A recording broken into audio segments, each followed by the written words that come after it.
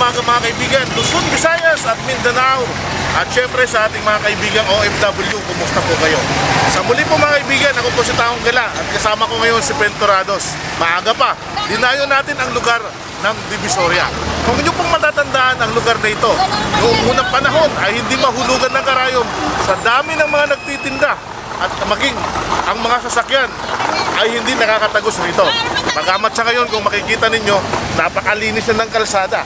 Ito na ngayon, ang bagong mukha ng Divisoria. Konting trivia lang tayo mga kaibigan. Alam nyo ba na dito sa Divisoria mabibili ang lahat ng mga klase ng paninda mula sa pinakamaliit hanggang sa pinakamalaki. Kaya nga, ito ang sentro ng komersyo dito sa Maynila. Magpaganon pa man, ang ating pong sadya sa araw na ito ay upang alamin sa mga taong naririto ang tunog ng isang pangalang Francis Leo Marcos. Ano nga ba para sa kanila? Ang isang Francis Leo Marcos sa larangan ng politika. Ito ang ating aalamin. Kaya samahan nyo kami dito sa Divisoria.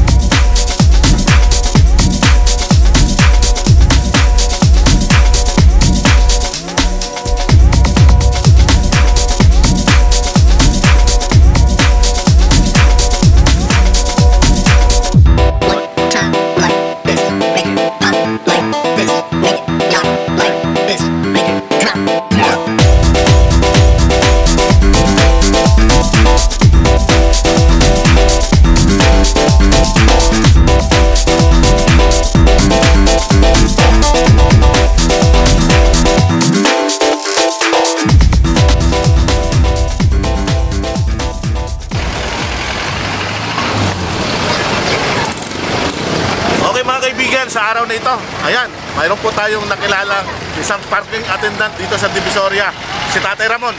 Tara, samahan natin. Eh, good morning, Tatay Ramon. Ako si Taong Gula, kasama ko si Venturados. Oo po. Okay. Ay, isa ho sa katanungan ko, Tatay Ramon, eh, kumusta naman po yung uh, buhay-buhay natin dito sa Divisoria?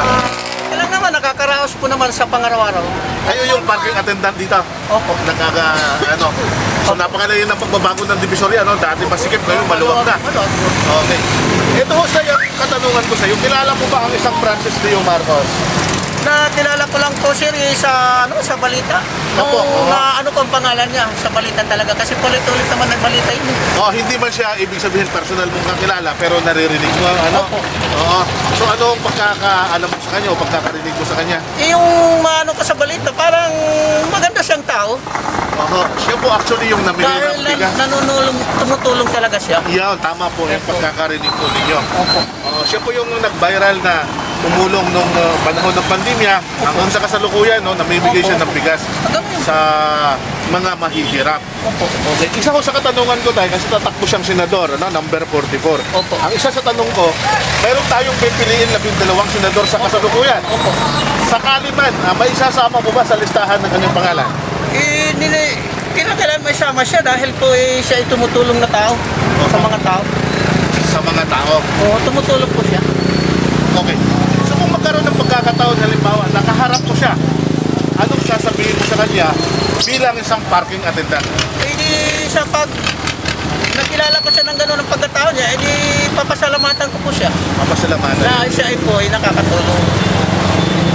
So may babatiin po ba kayo tayo? Eh, kahit siya, babatiin ko po siya ngayon. Maraming salamat po, Leo, sa magandang umaga po sa inyo. Dahil ikaw ay marami ka natutulungan na tao. Maraming salamat tayo ha.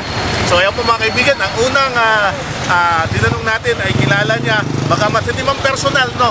Sa larangan lamang ng ah, ah, YouTube at ah, Facebook, maging sa balita ay sa kanya nakilala ang isang Francis Leo Marcos na tumutulong at may sasama niya sa listahan. Maghahanap pa tayo, samahan niyo kami.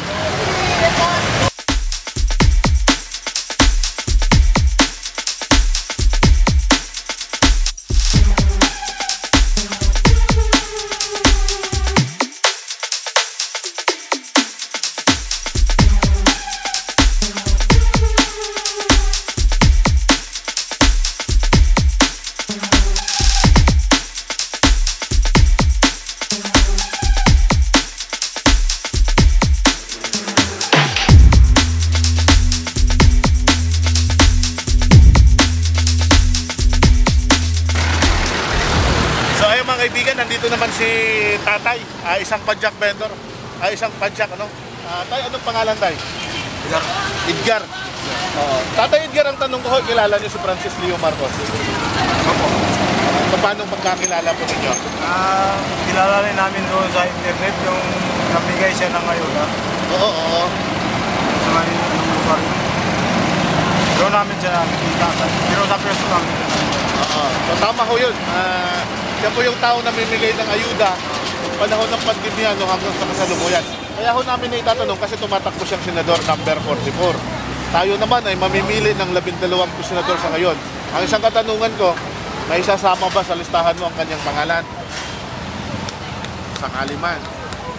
pwede. Pwede. So pang ilan kaya? Kaya?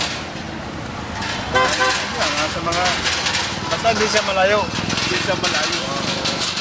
Possible, mga pang-anim, pang-lima, parang ganun. Pang-apat. pang-apat. Okay. So, kung magkakaroon ka ng pagkakataon na makaharap mo siya bilang isang padyak, ano, padyak ah, operator, ano ho ang sasabihin mo sa kanya? Pag, pag magkaharap ko siya, Oo, alam mo, sa ngayon ha, halimbawa, nakaharap mo siya, nariyan siya sa harapan mo. Ah, anong sasabihin mo sa kanya bilang isang padyak operator? Sabihin ko sa kanya, magpasalamat din ako kung sakaling manalo siya sa senador. Kasi baka makatulong din siya sa amin ng mga padyak. So, may ano mo naman siya, may papakilala mo sa mga kasamahan mo. Mga kasamahan ko doon sa amin sa Bray. Kasi nakakita rin naman nila sa internet eh, yung Ginagawa. nung panahon na bigay siya ng yoga sa pandemic. Dami nakakita ko sa kamalan. Ku- Kuya, ah, may babatiin po ba kayo? Ay, wala. Wala na. So yung mga kaibigan, si tatay no, ah, isa ho siyang padyak ah, operator dito sa Divisoria at ang ayon sa kanya ay hindi man niya kilala. Bagamat hindi man ganap na kilala ang San Francisco de Marcos personal, narinig lang sa internet, ah, nakita lang sa Facebook at YouTube, pero may sasama niya sa panahon ng politika. Thank you so much, Tay. ah. Maraming salamat.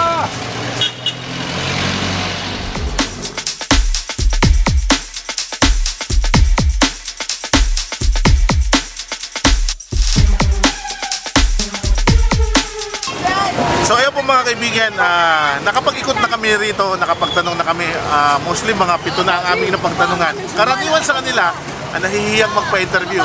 Bagamat isa sa nakita ko, sabi nila, hindi nila kilala ang isang Francis Leo Marcos. Kapag ganun pa man, hindi po tayo susuko at maghahanap pa rin tayo ng mga taong ah, ah, makakausap natin para malaman natin ang tunog ng Maynila. Yun no?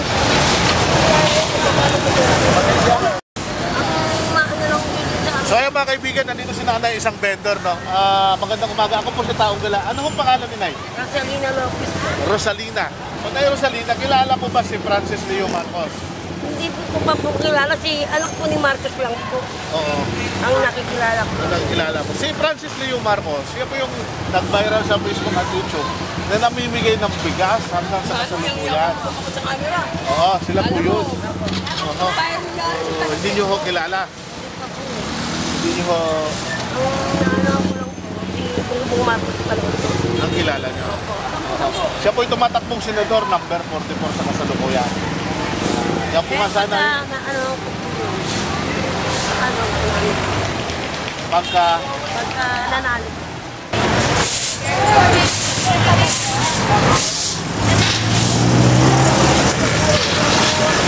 Okay mga kaibigan, ah, eto sa wakas may nakakakilala. Ito talaga si Puso. May kasama pa palang Good morning, cameraman. Yes po. Ah, ano ho pangalan, Nay? Anita. Anita, ah, ito po sa inyo. Matagal na po kayo nagtitinda dito. One year pa lang. One year. Okay. Kaya ho kami nag-iikot ngayon kasi ah, gusto namin alamin dito sa Divisoria kung ano ang uh, gaano kakilala ang isang Francis Leo Marcos. Kilala niyo po ba siya? Hindi ko pa na ano nga talaga yan. Ngayon ko lang narinig yan na namimigay siya ng bigas. Tapos ngayon tatakbo daw ng ano. Oo. Sabihin, Oo nga, pero hindi ko pa nakita yan personal. Oo, okay lang ho yun. Kasi ah, kami man, no, hindi man na natin nakita personal yun, pero naririnig natin, no? Okay, okay. Ano ho pagkakilala ninyo sa kanya o pagkarinig ninyo sa kanya? Basta yun lang pagkarinig ko, sabi, namimigay doon ng bigas. Tapos sabi, tatakbo ng ano. Senador? Oo, pero sabi naman nila, mabait man daw niya yan. Okay, tama ho kayo. Siya po ay tumatakbong senador number 44 sa Ah, Baluta. number pa- Okay, ngayon po na, mayroon tayong pipiliin labindalawa, di po ba, na senador. Doon ba sa labindalawa, ang isang katanungan namin, may sasama ba siya sa iyong listahan? Oh, depende sa ano, kung anong mapag-isipan kung ano. Sa amin, tinatanong ko, sinong iboboto mo? Kung sinong ituturok ng ano ko, yun na. Oo. So depende ho sa inyo. Oo. Talaga ano, hindi nyo talaga ano nay. Hindi nyo pa hindi pa kayo nakakapag-decide Hindi, hindi pa, hindi pa ako nakapag-decision kung sino talagang yan. Kasi puro na lang pangako, puro pangako.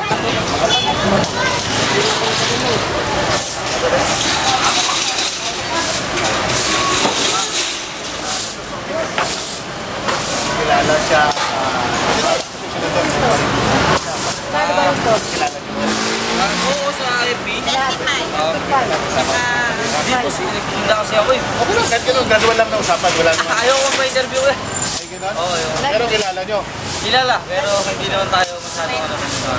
So ayan, si Kuya kilala pero nahiya silang magpa-interview. O, at least kilala siya dito. Salamat Kuya, thank you so much ha.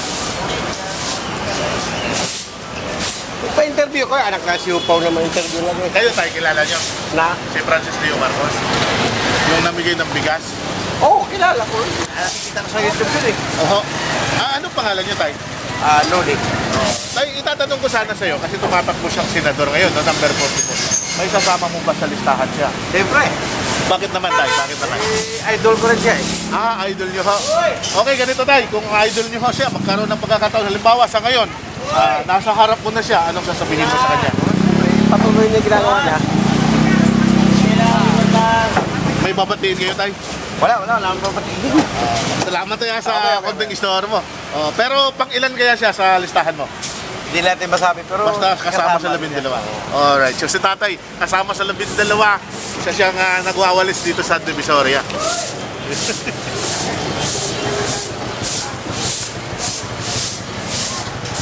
So ayun, mga kaibigan, sa pagkakataong ito, isang nagtitinda ng itlog dito sa Divisoria, ang ating kakapanayamin. Ah, anong pangalan kuya? Joseph Armayan. Jojo. Lalapit ako ng konti para mas ano. Kuya Jojo, Ah, kilala niyo po ba si Francis Leo Marcos? Oh, yes. Yung vlogger dati na ano, nagbibigay ng pera. O yun, nang namimigay ng Namimigay bigas. ng pera, bigas. Bigas, Oo. okay. Oho. Kaya ako na itatanong kasi tumatakbo siyang senador, ano? Ah, number 44. At sa ngayon naman ay labindalawa ang pipiliin natin. Apo. Ang isang katanungan ko, doon ba sa labindalawa ay may sasama mo ba sa listahan mo? Ang kanyang pangalan? Kung hindi ko pa rin kasi nakikita yung pinakabuong list ng mga ano eh, mga senador. Oo, oo, oo. So, ano naman, kung hindi naman makukumpleto yung 12 kong senador, eh bakit hindi ko siya sasama? Isa naman siya sa naging mabuting netizen natin. So kumbaga kuya, ang status niya ngayon para sa'yo, waiting list siya. Waiting list Oo. Kung sakaling may pu- mayroong pampuhan, pwede na may sama. Kasi mar- marami naman tayong senador na iba na hindi pa gano'ng kilala. Wala pa Pero kung magkakaroon ng pagkakataon na makaharap mo siya, anong sasabihin mo sa kanya? Yun lang. Oo, oh, yun lang. Anong pangalan kuya? Joseph, Joseph Armayon. Jojo. Salamat kuya. Kaya saka kay Kuya Juju ngayon mga kaibigan, kilala niya. Bagamat kilala niya, ayon sa kanya, nasa waiting list. Hindi pa siya sure kung makakapasok. Dati yung ano, during pandemic, yung namimigay ng mga ano, bigas, bigas, pera.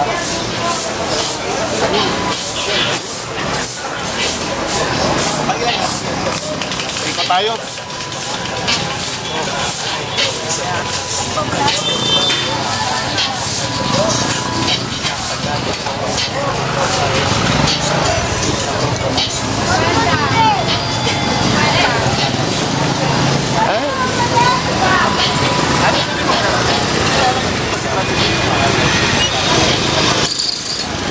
Yeah.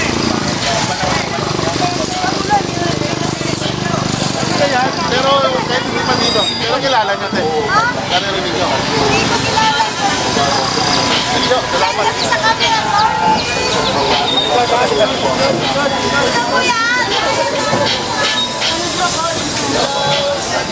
Francis Leo Marcos po, yung namigay ng bigas ng panahon ng pandemya, kilala niyo po. Hindi ko na pero wala tatanda ko. Nagbibigay sila ng maraming pagkain, mga bigas. Ganun. Narinig niyo po ba sa Facebook? Narinig niyo sa YouTube? Hindi ko narinig yun, narinig ko lang sa mga, mga tao. Sa mga tao. Ano mo pagkakarinig niyo kay Francis Leo Marcos? Pero maganda naman. Kaya ako kasi, tayo, matakpo siyang senador ngayon, number 44. Ang tanong ko ho, ah, may sasama niyo ba sa listahan? Ay, siyempre. Oh, sasama niya. Oo, eh, matanda na ako, ilang taon na ako. Kung magkakaroon ng pagkakataon tayo na makaharap mo siya, anong sasabihin mo sa kanya? Eh, sasabihin ko, maraming salamat. Lagi na, palinti ulit. Ha? May babatiin kayo tayo. Eh, ko na siyempre. Ano pangalan tayo? Alfredo po.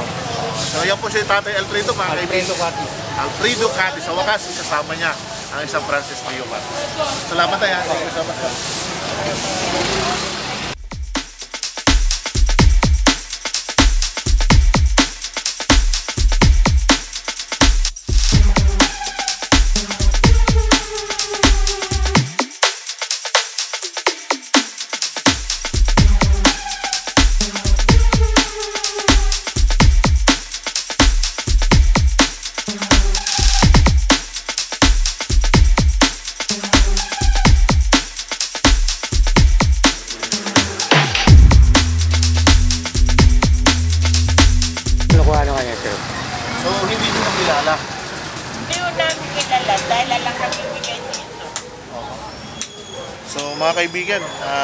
hindi rin nila kilala no.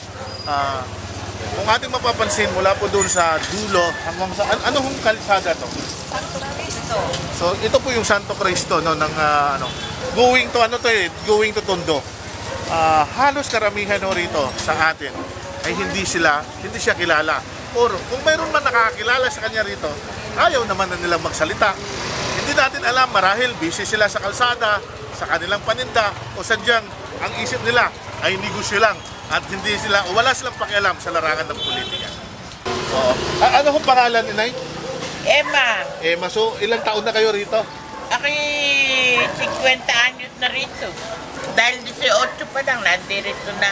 Pero wala ho kayo talagang hindi nyo kilala or Hindi namin kilala yung Francis na yun. nanonood kayo sa Facebook or sa YouTube. Oo, lagi kami nasa TV nakikinig ng 24 oras eh. Ah, sa YouTube po siya. Sa, Sa YouTube. Sa. Ah. siya po yung tumatakbong ah, senador sa ngayon, number 44. Number... 44 po siya. Anyway, Anong apelyido ba? Marcos po. Francis Marcos? Leo Marcos. Ngayon lang namin narinig yun. Si Marcos eh, ah, kami BBM eh, kaya kilala namin si Marcos. Pero yung Francis. Marcos, hindi namin Si ano kilala. ba, si Carl Balita, ano, ano. Hindi ko kilala din yun. Anyway, salamat na yan. So ayun po mga kaibigan, talagang ah, dito sa lugar na ito, eh, hindi daw nila alam at hindi niya kilala ang isang kami. Francis Leo Nasabi Marcos. na namin sa inyo, Marcos kami. Ako hindi, isko ako.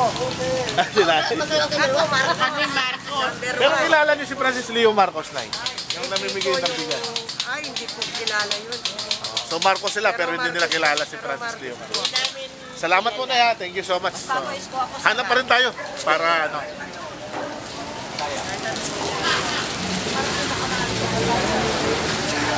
Ay, sorry po.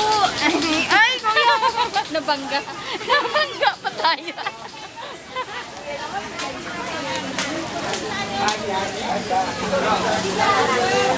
Kuya.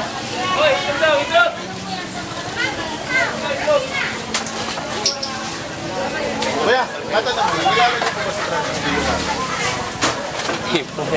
Yung sa Facebook at saka sa YouTube? Kilala ko. Ha? Opo. Okay. oh. So, siya yung nag-viral sa Facebook at YouTube, di ba? Okay. Kaya ako ho na yung tatanong kasi tumatakbo siya bilang senador. Ang tanong ko ho ay, may isasama mo ba sa listahan? Ba, bakit naman?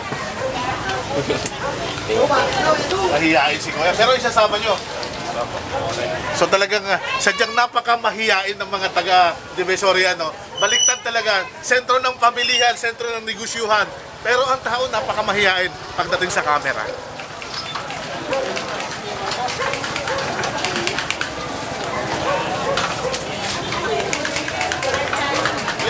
Pwedeng magtanong. Kilala niyo po ba si Francis Leo Marcos? Opo. Si Kuya kilala. Okay. So, ano po pangalan niyo Kuya? Randy man. Ano ho ang pagkakakilala niyo sa isang Francis Leo Marcos? Ay, ang pagkakalam ko kay Francis Marcos, ano yan? Marami siyang ginawa ba? Oo. Sa, sa, sa Pilipinas. Oh. Si Francis Leo Marcos, siya yung namigay ng bigas ng panahon ng pandemya. Tumulong sa mga tao. Ngayon, tumatakbong senador number 44. Ang isang katanungan ko, may sasama mo ba sa listahan? Ah, sa akin kasi, ako, hindi ko rin masasabi kung ano, kung sino boboto ko eh. Nag-iisip pa ako sa dalawa eh, kung Sa Isko dalawa? o Marcos eh. Oo. So, hindi pa kasi hindi ka pa sigurado sa kanya. Pero at least kilala mo kuya, no? Maraming salamat kuya ha. Salamat po sa iyong uh, uh, pagpapaunlak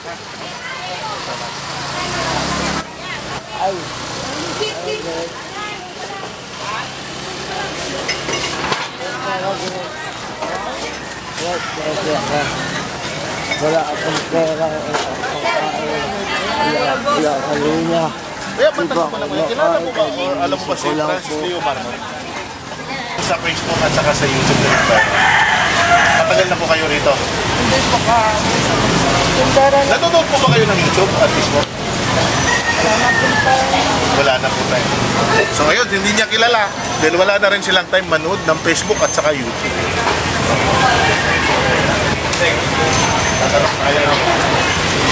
Kuya, good morning kuya. Pwede lang magtanong. Nagsusurubi kasi kami. Kilala niyo po ba si Francis Leo Marcos? Yung nag-viral sa YouTube at Facebook. Hindi niyo po kilala. Oh, siya yung namigay ng bigas at nag-viral sa Facebook at YouTube. Kaya ako namin na tinatanong, nag-iikot kami. Kasi tumatakbo siyang senador number 42. Kung kilala niyo ko yan. Kilala niyo yun siya. Anong pagkakilala niyo sa kanya? Bumbo. Ano ba yun? Si ano po, si Leo Marcos. Si- Iba po si Bumuha. Leo Marcos. cellphone niya, ano niya eh. Yung cellphone niya, kipag lang. Ah, gano'n. Kaya hindi siya, ano. So, ayun mga kaibigan, talagang ah, hindi din nila kilala. Pero anyway, maraming salamat na Siya po ay tumatakbong uh, senador number 44. Thank you, thank you.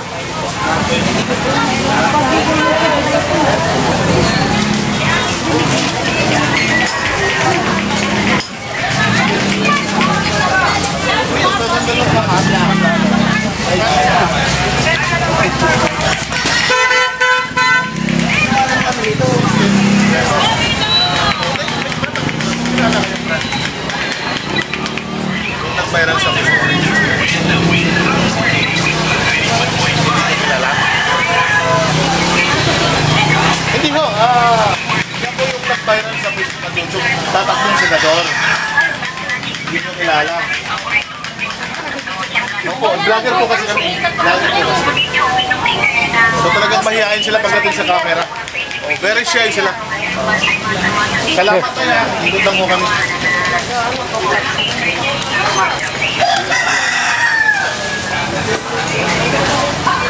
So, ayun po mga kaibigan, ah, sa lugar na ito, mostly po ng ating napagtanungan ay hindi ho kilala si Francis Leo Marcos. At kung mayroon man nakakilala, ayaw nilang magpa-interview. Ayaw nilang magsabi. Kaya ho, siguro mga kapatid, ayan, hanap pa tayo hanggang sa dulo ha. Samahan nyo lang kami. Kuya, may magtanong kuya. Kilala niyo si Francis Leo Marcos? Yung sa Facebook at saka sa YouTube na nag-viral? Pwede, pwede bang ma-interview kayo kasama? Hindi, yun lang naman. Kung, kung kilala mo, tapos ang itatanong ko lang naman, kung kilala mo, sasagot na kung inuboto mo. Ganun lang. Ano, okay lang po ba? Ayaw nyo kung ano. Pero kilala nyo, kuya, Nakikita lang. Pero sa YouTube, saka sa Facebook. Ano ang pagkaalam nyo? ano, tumutulong sa... Tumutulong. Siya kaya ako kanina tatanong ko eh, kasi tatakbo siyang senador, number 44. Kung sakali may bubuto mo ba siya? May sasama ba sa listahan? Pwede. So, kung magkakaroon ka ng pagkakataon na makaharap mo siya, anong sasabihin mo sa kanya bilang bindor? Bili niya yung tinda namin. Bilhin niyo tinda. Ano, tinda? Mahihayin din si Kuya. Pero anyway, Kuya, at least, ah, kung sakali man, pwedeng may isama. So, sa wakas, ano pangalan Kuya? Secret. Okay, secret. So at least sa mga kaibigan, napaka sobra talagang mahihain nila ano. Pero ganun pa man sabi ni Kuya, pwede, posible naman. Pwede may isama. Ayun.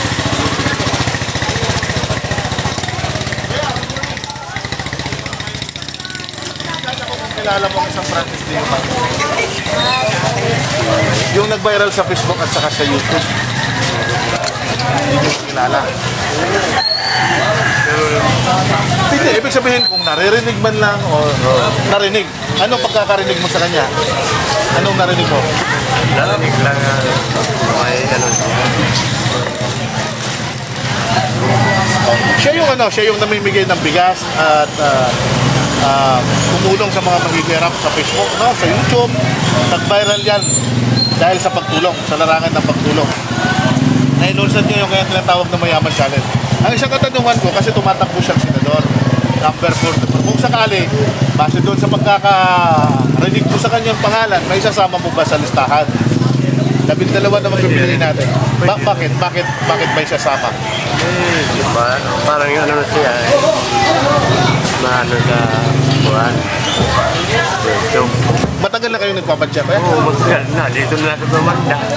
Ah, taga saan ho ang probinsya ninyo kung okay lang? Dito. Tagalita, waray-waray ka. Oo, waray. Pag gina waray-waray kuya, parehas yung mga parehas malupit kami. So, ayun mga kaibigan, sa wakas, sabi ni Kuya, nakahanap tayo. Okay naman, pwede naman may isama. At ah, maganda nito, isa si Kuya sa mga waray-waray. Hindi man personal na nakilala, pero narinig lang niya at may sasama niya sa listahan. Maraming salamat Kuya ha. Thank you so much. Salamat. Thank you, thank you, thank you. Mga waray. Okay.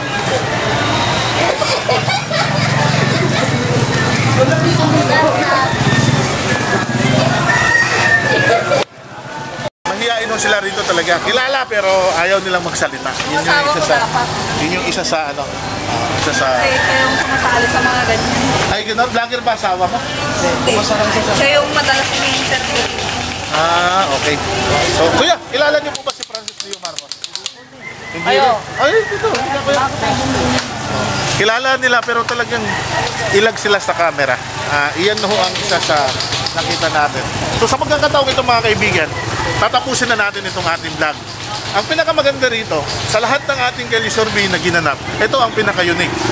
Ito ang pinaka-unique sapagkat kung ating makikita sa iba, kadalasan kilala, kadalasan na tuwan-tuwa pa sila.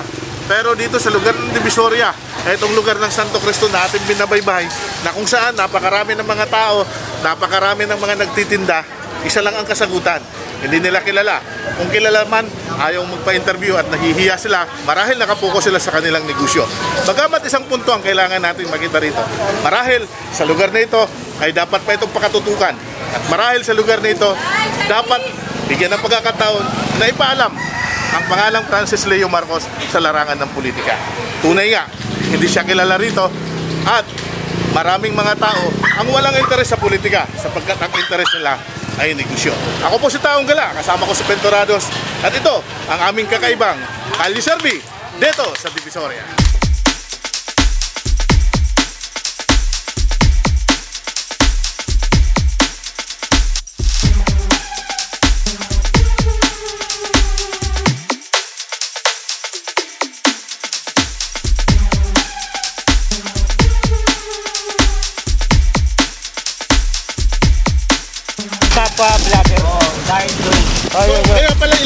Mga vlogger, ayaw nila.